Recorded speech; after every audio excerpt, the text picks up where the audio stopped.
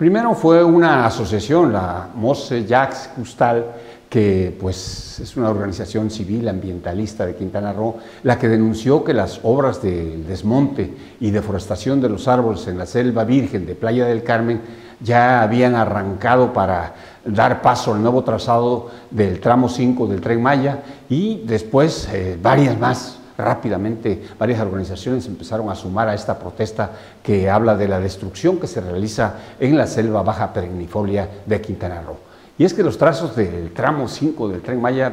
pues han sido un verdadero relajo. Este, es un tren que nadie pidió y se ha cambiado constantemente debido, pues, no sé si al humor con que se levanta el presidente, con el pie derecho, con el pie izquierdo, o pues en todo caso no se ha realizado una planificación previa todo empujado porque deben terminar antes de que finalice 2023 y, a pesar de todo ello los costos suben y suben, ya han subido 60 mil millones, de los 140 mil millones de que se tenían programados ya van 200 mil millones y esto fue hace unos meses. La cifra sigue creciendo porque eh, estos datos pues, son de octubre del año pasado. Recuerde que supuestamente se reubicaron este, miles de árboles para que pudieran pues, abrirse los espacios sobre la carretera eh, donde cruzaría en una de las tantas eh, propuestas ahí en Playa del Carmen para que pues, pudiera evitar la destrucción ecológica supuestamente, pero querían destruir todos los puentes, los llamados estos pasos elevados, que apenas se habían construido hace unos años para eh, liberar este, el intenso tráfico de la zona. Pero pues en el transcurso de esos trabajos se encontraron con que había muchas cavernas que eran peligrosas y que las posibilidades de un accidente, de un derrumbe, de un hundimiento serían bastante altas y que esto pues no podría ser posible. Entonces, eh, otra opción era tomar el circuito vial y total que se empezaron a hacer cambios y cambios hasta que finalmente se tumbó a Rogelio Jiménez Pon, el que era titular del Fondo Nacional de Fomento al Turismo, FONATUR, para imponer a un incondicional del presidente Andrés Manuel López Obrador, eh, en este caso eh, el también tabasqueño Javier May Rodríguez, para que hiciera todo en fast track y no eh, hubiera tantos cuestionamientos a los proyectos, así como vinieran, batearlas. Y se, pues se decidió el nuevo trazo, un nuevo trazo que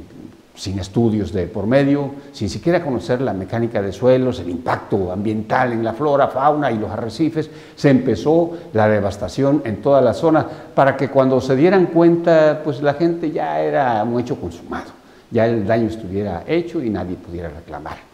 Por eso es que el grito de auxilio que dio una organización ecológica, pues rápidamente se sumaron por lo menos otras 20 organizaciones ecologistas, entre ellas las que se ponen sistemáticamente al presidente de la República, pero sin duda hay muchas que están espantadas por el, ecocidio que se está cometiendo en Quintana Roo. Y es que ve uno las fotos y es una verdadera locura todo lo que están tirando de selva.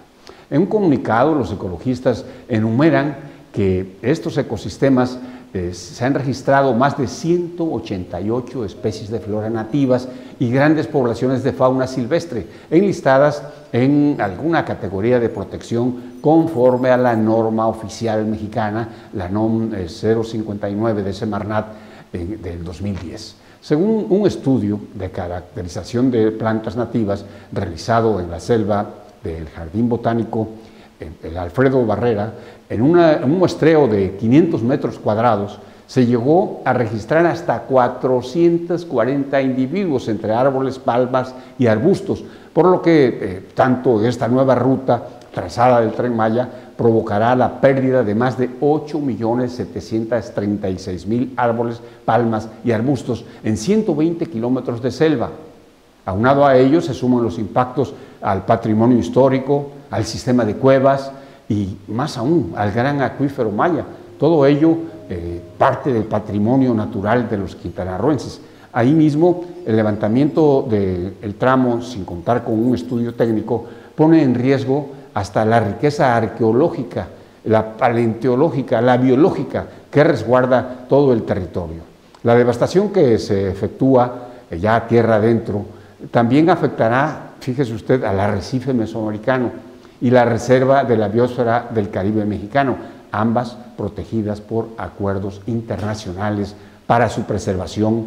y por toda esa conexión entre ambos sistemas acuáticos que ya, eh, todo, ya, ya sabemos, todos los ríos, eh, los ríos subterráneos acaban fluyendo al mar, acarreando todo el material disuelto y en suspensión y que colectan en, pues, en ese trayecto, en ese camino hacia la costa.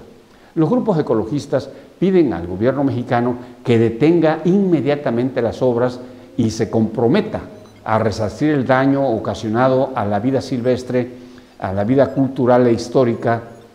que ha ocasionado en todo este megaproyecto eh, conocido como Tren Maya. Y también le exigen que respete lo que establece la ley de equilibrio ecológico y la protección al ambiente, la ley de desarrollo forestal sustentable,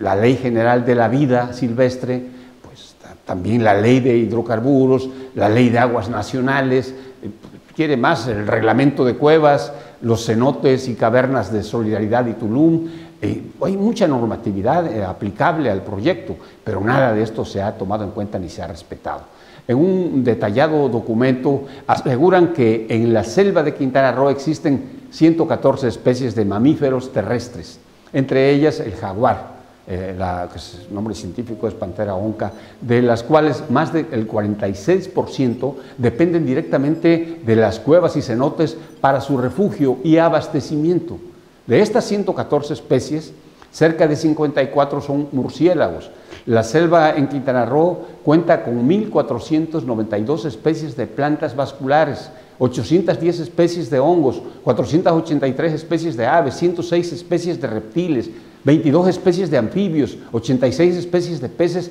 eh, de las aguas dulces y una gran cantidad de fauna endémica de ambientes subterráneos con algunas especies en peligro de extinción,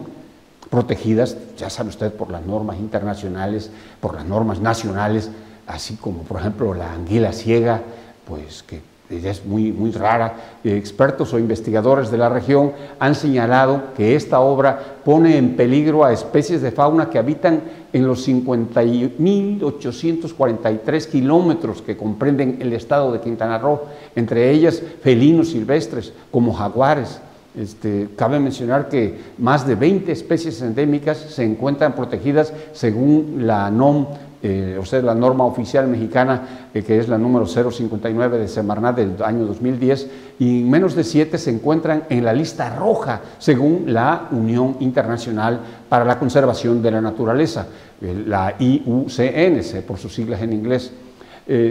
todas estas en peligro de extinción y nadie hace nada. Asimismo, las agrupaciones y organizaciones no gubernamentales exigen al gobierno, también al gobierno de Quintana Roo, responder y recordar la firma del Acuerdo General de Coordinación para la Sustentabilidad de la Península de Yucatán, la ASPY, que se llevó a cabo en las conferencias de Naciones Unidas sobre cambio climático efectuado en Cancún, precisamente, en Cancún, Quintana Roo, en el año 2016, y esto apenas, que recuerde usted, iniciaba el sexenio de Carlos Joaquín, pero pues ya como va de salida parece olvidarse y más le interesa buscar impunidad y una chamba con el gobierno federal, con el que no quiere ni tocar y que pues ya hasta tiene eh, una promesa de que le van a dar chamba y según el gobierno federal, según el presidente de la República. Y también estas organizaciones ecológicas subrayan pues, que México se comprometió a respetar el programa de reducción de emisiones de gases de efecto invernadero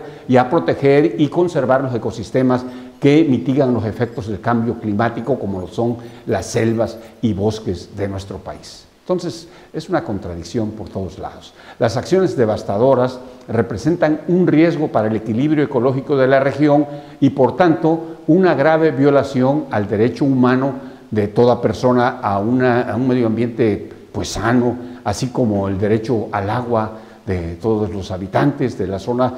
Incumple también el artículo cuarto de la Constitución Política de los Estados Unidos Mexicanos, que también hace precisamente referencia a todo esto. Así que ya no existe, por ejemplo, el pago a un Eugenio Derbez para que hable y diga que están destruyendo eh, la ecología cuando estuvo el asunto ahí de el, Malecón Tajamar y pues ya nadie parece enterarse. Parece que México va en sentido contrario al respeto y, a, tocar todos estos bastiones son pues la mayor fuente de riqueza buscosa tropical, la mayor fuente de, diversidad y pues es un acuífero que tenemos que, defender definitivamente. Así que esta es la situación, así es como se está viviendo en este momento una gran tragedia que choca contra un proyecto federal, pero no por solapar o por apoyar a, Andrés Manuel López Obrador se va a apoyar la destrucción de la ecología de Quintana Roo.